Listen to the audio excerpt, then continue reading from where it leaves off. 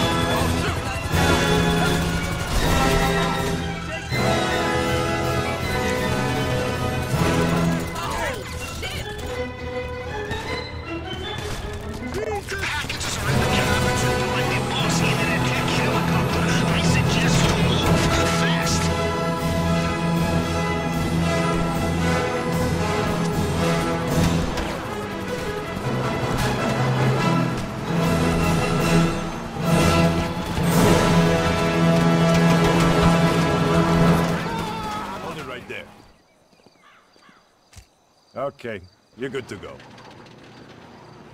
Hey, you made it. Hope everything went to plan. Mr. Madrazo only got back from the club a few hours ago.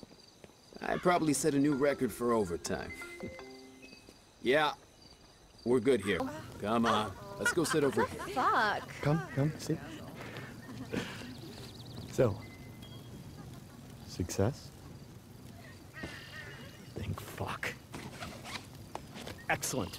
Fucking wait till my dad hears about this.